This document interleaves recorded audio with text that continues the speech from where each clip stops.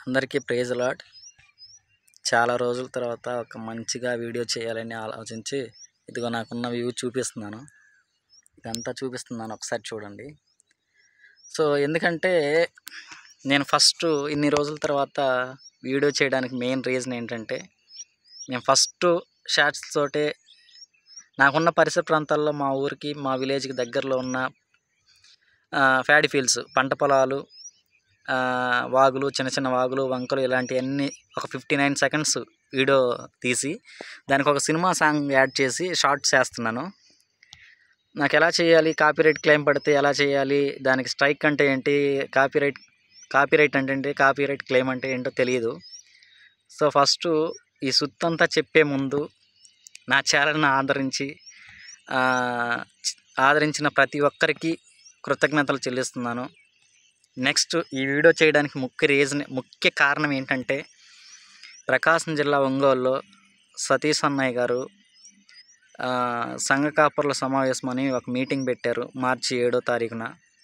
దానికి సంబంధించి ఒక పెద్ద దైవ సేవకుడు పెద్ద అయినా చిన్న అయినా అనేది నాకు తెలియదు కానీ నేను మాట్లాడుకో నేను మాట్లాడాలి అనుకొని చాలా మాట్లాడాలనుకొని వీడియో చేస్తున్నాను అన్నీ మర్చిపోయాను. అయితే ఆయన యూట్యూబ్లో నేను చూశాను ఆయన.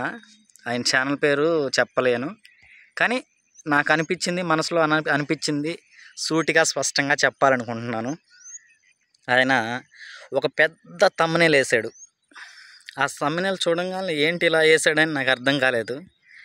ఆయన ఇంటర్నేషనల్ స్పీకర్ లాగా ఇలా మూతికి ఒకటి తగిలిచ్చి ఆయన ఎలా చెప్పాడంటే ఆయన ఈ మెసేజ్ కోసం చూపించినంత ఇంట్రెస్ట్ వాళ్ళ సంఘంలో చూపించుంటే కనీసం కొన్ని ఆత్మలన్నా రక్షి రక్షించబడ రక్షించబడాయి అని నేను ఆలోచిస్తున్నాను అనుకుంటున్నాను. అయితే ఆయన ఏం తమ్మనేలు పెట్టాడంటే కల్వరి సంఘం కకృతి కాపురలో సంఘ సమావేశం అని పెట్టడం జరిగింది. నాకు మైండ్ పోయింది. అసలు ఇలా ఎందుకు చెప్పాలి అనుకుంటున్నానంటే ఫస్ట్ పాయింట్ అసలు నాకు యేసుక్రీస్తు గురించి కానీ సంఘానికి వెళ్ళ చర్చికి వెళ్ళాలనే ఆలోచన కూడా లేదు. ఆ టైంలో నేను హైదరాబాద్లో ఇండస్ట్రియల్ ఏరియాలో కాటేదాన్ అనే ప్రాంతంలో ఒక బిస్కెట్ కంపెనీలో నేను వర్క్ చేసే టైంలో నా ఫ్రెండ్స్ ఇలా ఒకసారి కలవర్ టెంపుల్కి వెళ్దాం రా అని నన్ను పిలిచినప్పుడు నేను మెట్రో గార్డెన్.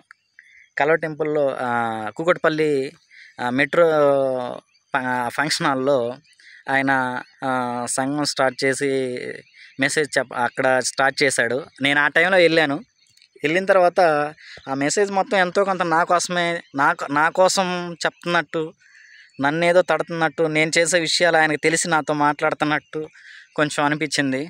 నాకు అప్పుడు ఆ రోజు అనిపించినప్పుడు ఈయన ఒకరోజు ఒక ఉన్నత స్థాయికి వెళ్తాడని నాకు అనిపించింది. కానీ దాని తర్వాత మళ్ళీ నేను కల్వర్ టెంపుల్కి వెళ్ళాల. అది ఫస్ట్ టైం రెండు వేల ఏడులో వెళ్ళాను. దాని తర్వాత నేను రెండు వేల పద్దెనిమిదిలో కల్వర్ టెంపుల్కి వెళ్ళడం జరిగింది. వెళ్ళిన తర్వాత తర్వాత ఇరవై మూడులో వెళ్ళాను అంతే.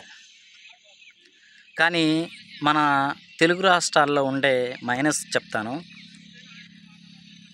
మన ఇంటి పక్కన వాడు బాగుపడుతుంటే చూసి ఓర్వలేనిది తెలుగుదనం.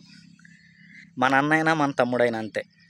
నాకు నచ్చింది నా మనసులో నుంచి ప్రతి మాట నాకు అనిపించింది నేను మీతో షేర్ చేసుకోవాలనుకుంటున్నాను. ఎవరికైనా తప్పుగా అనిపిస్తే ప్లీజ్ దయచేసి క్షమించండి. నేను నాకు నా ఏజ్కి తగ్గ మాటలు మాట్లాడట్లేదని ఎవరైనా పెద్ద పెద్ద వాళ్ళు అనుకుంటే వాళ్ళందరికీ నేను క్షమాపణలు కోరుతున్నాను. అయితే ఆయన తమ్మనేలు పెట్టి ఎలా తమ్మనేలు పెట్టాడంటే పెద్దగా కల్వర్ టెంపుల్ సంఘ సాపరు సంఘ కాపురుల కకృతి సమావేశం అని పెట్టాడు.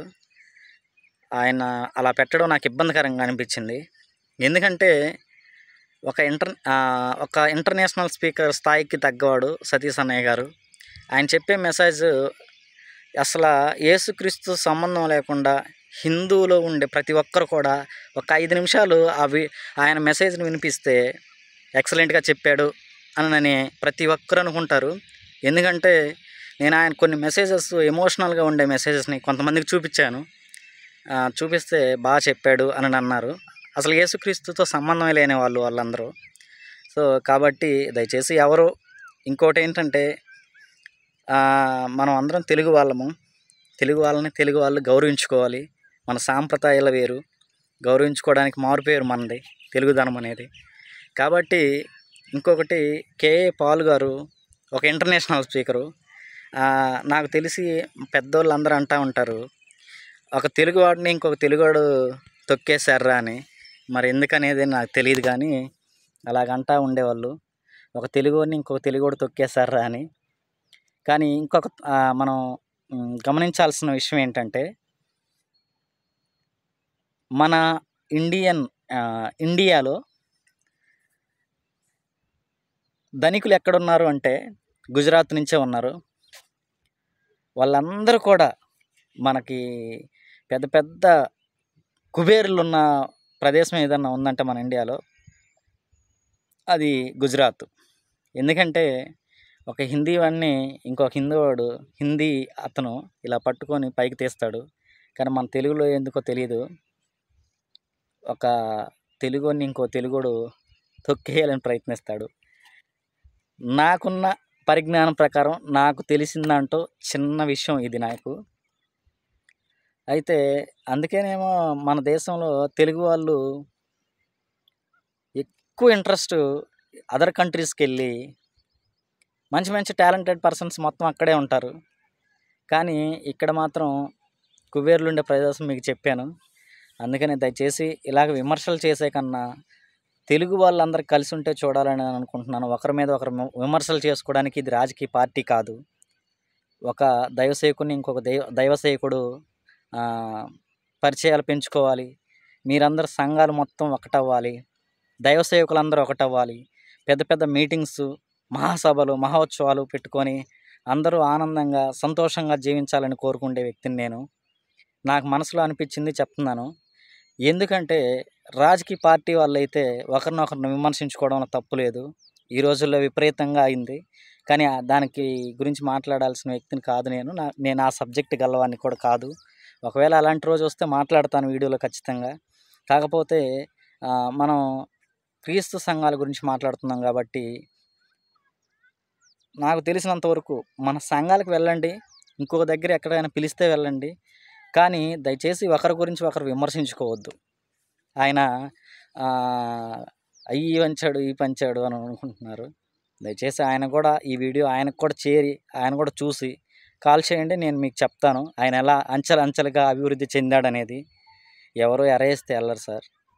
నేనైతే రెండు వేల ఏళ్ళలోనే ఆయన సంఘంలో నూట యాభై మంది రెండు వందలు ఉన్న సమయంలోనే నేను వెళ్ళి చూశాను సార్ ఆయన స్పీచ్ని. దయచేసి మీరు కూడా ఇలాంటి విమర్శలు మానుకొని అందరూ సంఘాల్లో ఉన్న దైవ సేవకులందరూ కలిసి ఆరాధన చేసే ప్రయత్నం చేయండి సార్. ఏదో ఒక మన తెలుగు రాష్ట్రాల్లో ఎక్కడ పెట్టినా ఆరాధించే వాళ్ళు చాలామంది ఉన్నారు సార్. మీరందరూ కలిస్తే చూడాలనుకుంటున్నాను నేను. దయచేసి ప్రతి ఒక్క దైవ సేవకుడు వినండి. ప్రతి ఒక్కరూ మన తెలుగు రా రెండు రాష్ట్రాల్లో ఉన్న ప్రతి ఒక్క దైవ సేవకులు ఒకరి మీద ఒకరు విమర్శలు చేసుకోకుండా దయచేసి మీరందరు కలిసి ప్రార్థన చేస్తే మన రాష్ట్రాలు బాగుపడతాయి సార్. మన దేశం బాగుపడుతుంది. మన దేశం కోసం మన రాష్ట్రాల కోసం దయచేసి సంఘ కాపర్లు అందరూ ఒక్కటయ్యి పెద్ద పెద్ద సంఘ ఇంటర్నేషనల్ స్పీకర్స్ ఎవరైనా ఉన్నారు జాకబ్ అన్నయ్య గారు సతీష్ అన్నయ్య గారు జైపాల్ గారు ప్రవీణ్ అన్నయ్య గారు జాన్ వెస్లీ గారు పాల్ ఇమానియల్ గారు ఇలాగ ఏవైతే పెద్ద పెద్ద సంఘాలు ఉన్నాయో దయచేసి ఆ ద ఆ సంఘ దైవ సేవకులు ఎవరైతే ఉన్నారో వాళ్ళందరూ తెలుగు రాష్ట్రాల్లో కలిసి ఈ రాబోయే సమ్మర్లో ఏదో ఒక టైంలో అందరు కలిసి మహోత్సవాలను ఏర్పాటు చేయండి సార్. విమర్శించుకోకండి ఆనందంగా ఉండండి సంతోషంగా ఉండండి. ఈ వీడియో ఎక్కడి వరకు వెళ్ళిందో దయచేసి ఆ ఊరు పేరు పెట్టండి. నేను కూడా మీ మీ మీ వీడియో చూసే వాళ్ళలో ఒకరిని అవుతాను. అదేవిధంగా మీరు ఎక్కడి నుంచి అయితే మీరు మీ విలేజ్ పేరు చెప్తారో. నేను అంతవరకు వెళ్ళిందని సంతోషించేవాడిని. నాకు తెలిసిన పరిజ్ఞానం నాకు తెలిసిన విషయంలో సూటిగా స్పష్టంగా నాకు తెలిసింది మనస్ఫూర్తిగా చెప్పాను. ఇది ఎవరికైనా నొప్పించినట్లయితే దయచేసి క్షమించండి. నా ఛానల్ పేరు ఏఎంపీ యాదవ్. సబ్స్క్రైబ్ చేసుకోండి. లైక్ చేయండి షేర్ చేయండి సబ్స్క్రైబ్ చేసుకోండి. Thank you.